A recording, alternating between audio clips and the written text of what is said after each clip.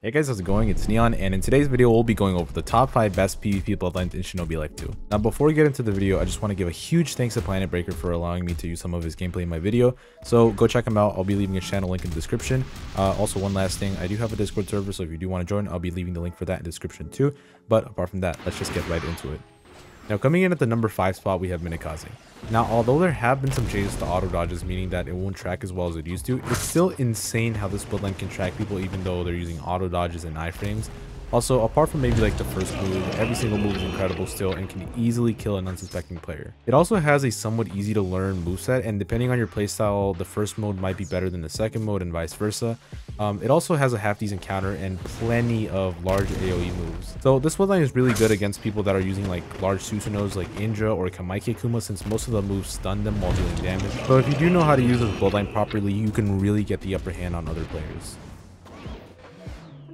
Anyways, next up on the number 4 spot is going to be Borumaki Gaiden. Now in the gameplay I'm using Borumaki Shiki, which is Skin of the Bloodline. All that means is that it has a different color and the effects are slightly different. Um, but anyways, Borumaki Gaiden is crazy good when it comes to comboing. Every single move, including the C-Spec, are all comboable into each other, so this is pretty similar to, you know, kind of like Bloodlines like Ichi. And another thing is that this is an EKG, which means that you can equip it to your left elemental slot, so uh, it allows you to integrate it more into combos since you don't have to give up your right slots, which are your V, B, and N slots. Um, but anyways, it deals a ton of damage and the combos are really hard to get out of if you don't have an auto dodge.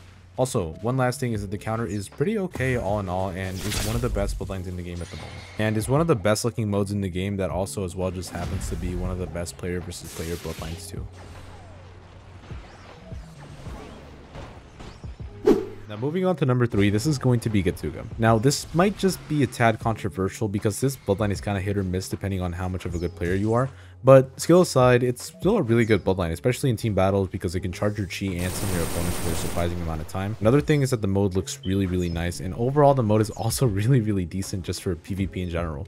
Um, especially considering it's something that you can get from a boss, um, like as a boss drop. And another thing is that similar to Borumakishiki, it is also an EKG. So if you missed what an EKG stands for, it's basically just something that the bloodlines or like the move set you can equip it to your left elemental slots, reserving your other slots for you know better bloodlines or better moves. Um, but anyways, back to my point. Uh, you have to be pretty decent to you know maximize the potential of this bloodline. But once you master all the moves, it's really incredible what you can do with this bloodline. Um, also, it's really fun to use, which is something that is often very overlooked nowadays in bloodlines. Anyways, now moving on to number two, this is going to be Kamaiki Akuma. Now, if I'm being completely honest with you guys, this in the number one spot can honestly be swapped depending on your playstyle, and one might be better than the other. But the reason that Kamaiki is number two is because above all those other build lines that I previously talked about, is the third mode. Now, the third mode is insane for team fights, and you can find, like, you can literally fight multiple people at the same time while stunning them, keeping your distance, and also some of the moves uh, steal your chi and give it to you. So as long as you can keep your distance and you know you keep on dealing damage, you can eventually just overwhelm like a group of even up to like three people. Um, but this does not mean that you're invincible using the bloodline. Uh, another thing is the first mode, it's really good for boss grinding uh, for human bosses and overall it's a little bit better for PvP um, in 1v1 situations. But also another reason is the counter. The counter is insane. If you're using like a move like Pyromania, they're basically screwed. That's basically an instant kill right there. Also, the Q-Spec is a large AoE move for the first mode. And finally, you can also mode merges with like Shock Cloak to give you a massive movement uh, advantage. But yeah, honestly, I think that's why it belongs in second place. Now, before we move on to the number one spot, I want to give a quick honorable mention to Azeden. This bloodline would low-key be the best bloodline if this was just a spinnable bloodline. However, you can only get this if you get every single mask from every Gen 3, which is quite a task considering that they aren't that common. And also Gen 3s are pretty hard to, you know, just fight on your own, especially if you're on your own and you aren't that much of an experienced player. Um, but anyways, as you can see by the gameplay on the screen, this is really a broken bloodline. Also, like I said before, thanks again to Planet Breaker for all of this. All the gameplay you are seeing is his, um, and he let me use some of it since I don't own Azeden. Uh, so go check him out. Um, but anyways, back to the bloodline. So the clones do an insane amount of damage, and this bloodline can't really be countered by other bloodlines apart from maybe the number one spot.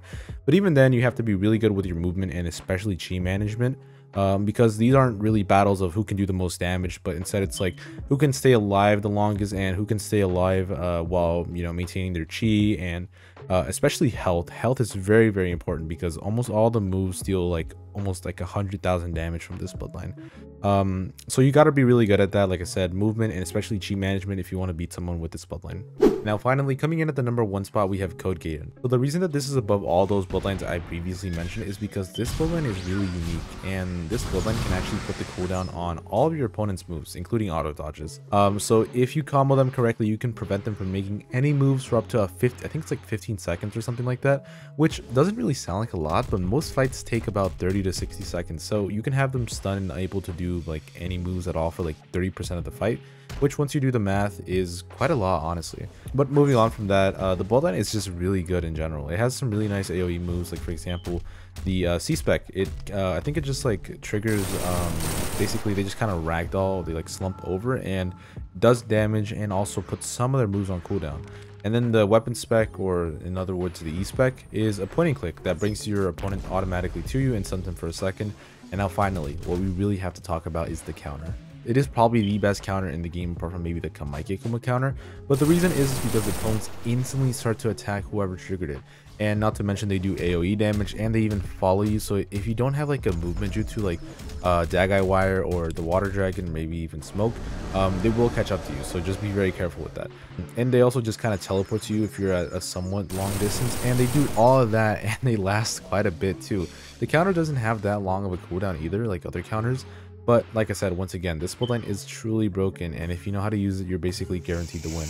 But anyways, like I said, this Code Gaiden is truly broken. It's really unique that it can put moves on cooldown for up to a really long time, and the counter is probably the best in the game, at least in my opinion. But like I said, this entire list was completely just opinion based so if you do disagree with me just tell me in the comments i might make a part two you never know um, but honestly depending on your playstyle you might like kamaiki more maybe minakaze Azeden, or even katsuga you might like something completely different you might prefer doku goku or you might like um, let's see like Ryuji Konichi. You might like maybe not even any bloodlines. You might like Gen 3s, maybe Gen 2s, maybe some uh, Dune Spirit Awakening or Heavenly Spirit.